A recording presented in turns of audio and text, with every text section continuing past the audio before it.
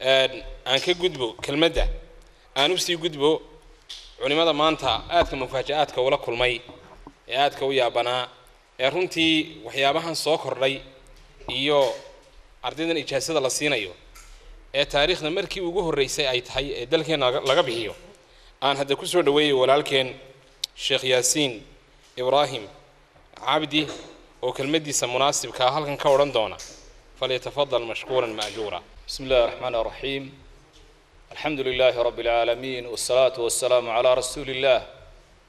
وعلى آله وصحبه وسلم تسليما كثيرا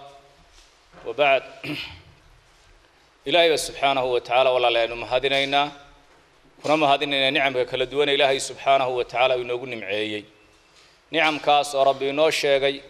هدين نقول هذا نقنين إلهي سبحانه وتعالى ينوكر نايو وعكلام هذا له علماء iyo dalbatulcilmiga xamalatlqur'aanka maanta aynu halkan u fadhino xafladooda iyagu markaa isugu keen yeedhay. Runtii waa arrin culus oo qof la yidhi dad xamalatulqur'aana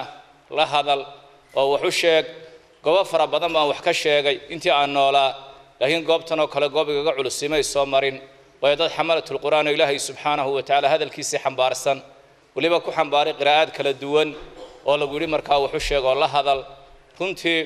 waa arrin culayskeeda markaa leh. Hase ahaatee waxa markaa aan ku horraysiin lahaa marka koowaad aan tilmaami lahaa fadliga qur'aanka kariimka uu leeyahay innaga oo wada hayno oo wax badan markaa ka xifdisan dadka xamalatul qur'aankuna ay yihiin dadka markaa ugu xiga ee iyagu in badan qur'aanka iyo fadliga uu leeyahay. Hadday aayaad ku soo arooray tahay iyo axaadiid nebigeenni maxamed ahe calayhi salaatu wasalaam ka sugnaaday hadday tahayba iyagoo iyagu ah markaa kuwa war u haya kuwa xog badan arrintaa ka haya ayaa haddana min baabi tadkiir min baabi qowlihi tacaala wadakir faina dikraa tanfacu lmu'miniin aan markaa xasuusin lahaa waxaa rasuulkeeni maxamed ah calayhi salaatu wasalaam inoo sheegay khayriyadu halka ay ku sugan tahay oo nebi maxamed wuxu uhi calayhi salaatu wasalaam khayrukum man tacallama alqur'aana wacallama waxaa nebi maxamed uu leeyahy calayhi salaatu wasalaam waxaa idinku khayr badan ninka qur'aanka bartay dadkana baray baa rasuulku yidhi calayhi salaatu wasalaam xadiidka waa xadiid saxiixa ah. Imaamu albukhaari raxmat ullaahi tacaala calayhi uu soo saaray. Cuhmaan binu cafaan baa nebiga ka warinaya calayhi salaatu wasalaam cuhmaanna waxaa ka warinaya qaarigii weynaa ee taabiciga ahaa abu cabdiraxmaan asulami raxmat ullaahi tacaala calayh. Abu cabdiraxmaan asulami oo ruwaadda xadiidkaa ka midi ayaa waxa uu odhan jiray markuu xadiidkan dadka u sheego ee xadiidkaa nebiga u akhriyay calayhi salaatu wasalaam wuxuu halaysu lahaa inuu yidhaahdo hada alxadiidu huwa aladii aqcadanii haahuna xadiidkani isaga ayaa kaabadani fadhiisiiyey waayo kaabad ka mida kaabadaha tiirarka markaa masaajidka nebiga calayhi salaatu wasalaam tiir ka mida ayaa xalqad u ahaa ama madrasad u ahaa dadka uu wax ugu dhigo muddo afartan sano ku dhow ayuu halkaa fadhiyo dadka markaa uu akhriyay isagoo ka duulaaya lafdiga xadiidka uu nebigu yidhi calayhi salaatu wasalaam khayrukum man tacallama alqur'aana wacallama waxaa kaloo fadliga axaadii qur'aanka xifdigiisu uu leeyahay walaalayaal oo axaadiid fara badan ay ku soo arooreen ka mid ah in rasuulkeeni maxamed ah calayhi salaatu wasalaam shuhadaa uxud markii la laayey uxud rag badan oo saxaabadii nebi maxamed fadliga badanayd lagu laayey oo xamse binu cabdilmudalib uu ka mid ahaa oo muscab binu cumeer uu ka mid ahaa oo cabdilaahi binu camar binu xaraam uu ka mid ahaa raggaas marka allaha ku dhinteen ayaa waxaa dhacday waxa la kala aasi kari waayey meydkii oo waxaa dhacday marka nin walba xabaal gaara in loo aaso lagu aaso ayaa cuslaatay. Markaasaa waxay noqotay in laba laba iyo saddex saddex loo aaso. Markaa raggaa la aasaayo iilkawa marka nin la keeno ilaa labadana xabaal lagu wada ridayaa rasuulku su'aal buu weydiinaya calayhi salaatu wasalaam. Wuxuu odhanaya ayuhum ama ayuhumaa akharu akhdan lilqur'aan keebaa qur'aanka xifdigiisu marka uu ku badnaa marka loo ishaaray loo tilmaamo ilaa kana xifdiga qur'aanku markaa qur'aanka badsaday nebigu iilka ayuu ku horraysiinaya calayhi salaatu wasalaam xadiidka iyo axaadiida la midkaa waxaa ahlucilmigu ay ka qaataan fadliga qur'aanku uu leeyahay guud ahaan iyo gaar ahaan xifdigiisu fadliga walaalayaal uu leeyahay. Waxaan kaga bixi lahaa nasteexo ama kelmad markaa waane ah oo walaaladayda markaa qur'aanka xifdiyey. Aan markaa waxa weeyaan kula talin lahaa waayo shaygii maanta adduunyada ugu qaalisanaa ayaa markaa ay xambaarsan yihiin marka koowaad inay dareemaan oo ilaahay subxaanahu wa tacaala nimcadaa uu siiyey ee dad badanoo maanta adduunyada u gaalaabaxayoo jaamacado gaalo hanti fara badan ay kaga dhagbaxday safarro badan u galay habeenno badan ku soo jeeday waxaanay helin ayaa marka iyagu ay heleen. Maraa marka koowaad inay ictiqaadaan arrintaasi marka qiimaha ay leedahay ay aaminaan in ilaahay subxaanahu wa tacaala uu fadli fara badan iyo shay qaaliya in ilaahay subxaanahu wa tacaala u yasiro u suurtogeliyey shayga labaadan ugu dari lahaa waxa uu yahay cilmiga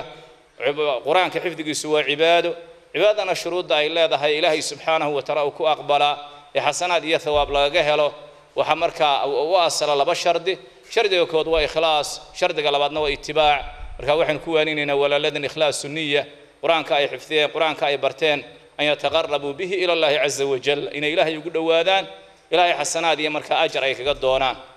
Waayo shaydaanku inta badan bini aadanka meelo badan buu ka soo galaa xagga daahirkana uu ka soo galaa xagga baatinkana uu ka soo galaa xagga baatinka isagu ka soo galaa isaga oo leh sidaas samee liyuqaal sidaas samee si lagu yidhaahdo sidaas samee si lagu arko. Marka inay ikhlaasu niyaha ay ku dadaalaan niyadooda iyo marka camalka ay qabanayaan iyo qur'aanka ay akhriyayaan ilaahay subxaanahu wa tacaala ay u badhaxtiraan rabbina xasanaad iyo ajar ay kaga doonaan.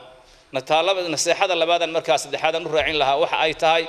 Qur'aankii waxaynu leenahay alwalaaladeen dalabatulcilmiga xamalatlqur'aanka waxaynu leenahay jawadtum alqur'aan. Waxay noo hadhay tajwiid lqur'aan baa markaa aad tajwiidisano aad la timaadeen inaad qur'aankii qurxisaan meesha yaallo oo laga markaa qur'aanka ula socda tajwiid alcamal tajwiid alakhlaaq tajwiid tarbiya qofku inuu akhlaaqdiisii wanaajiyo camalkiisii markaa uu qurxiyo akhlaaqdiisii akhlaaq badan markaa uu ka dhigo ahlulculimmada islaamku iyagoo tilmaamaya ama u qiimaha ay leedahay marka ardayda xamalatlqur'aanku ayaa waxay alifeen kutub ay kaga warramayaan akhlaaqu xamalati lqur'aan waxaa ka mid ah imaamu nawowi raxmat ullaahi tacaala caleyh kitaabkiisa la yidhahda attibyaan fi aadaabi xamalati lqur'aan kolley culimmaduna waa idin akhriyeen. Haddaan laydin akhrina insha allahu tacaala waa laydin akhriyi doonaa. Waxaan ku gebagabayn lahaa kolley haddii qur'aankii ilaahay subxaanahu wa tacaala xifdideen oo qiraa'aad kala duwan ah ku xifdideen waxa weeyaan waa halkii culimmada islaamka maqasheen imaamu albukhaari iyo imaamu shaafici iyo imaamu maalik iyo imaamu axmed ibnu xambal iyo a'immadaasi. Waa halay ka bilaabeen markay u sii socdeen ee safarkii ay ku jireen loo gelaayey qofku an yakuuna caalima rabbaaniyan. Inuu noqdo caalim rabbaaniya waddada ay ka bilaabantaa waa inuu qofku qur'aanka ilaahay subxaanahu wa tacaala u xifdiyo. Markaa toobiyahaasaa qabsateen toobiyaha ayaan laga baydhin. Waxaa kaloon markaa ku waanin lahaa waalidiinta markaa ardaydan dhashay iyo waalidiinta kale xaadirka ahba inaynu tixgelin walaalayaal fara badan imika nagu soo duulay. Duulaan fara badan baa dadkii muslimiinta guud ahaan iyo gaar ahaanba markaa ku socda. Xaggii aqoonta iyo xaggii waxbarashada ayaa markaa lagaga soo duulo duulaan lagaga hayaa in ardaydii markaa aynu waxbarno oo qur'aankii kariimka ahaa iyo axaadiidtii nebiga calayhi salaatu wasalaam iyo shareecada islaamka barashadeedii intaba itimaam fara badan aynu siino. Ilahay baynu subxaanahu wa tacaala ka baryaynaa. Walaaladeenna maanta markaa qur'aanka xifdiyey inuu ilaahay ka dhigo kuwa markaa hore u sii socda ummaddana ku haga ilaahay subxaanahu wa tacaala hadalkiisa iyo hadalkii rasuulkeeni maxamed aha calayhi salaatu wasalaam. Wabillahi towfiiq wallahu aclam waaxkam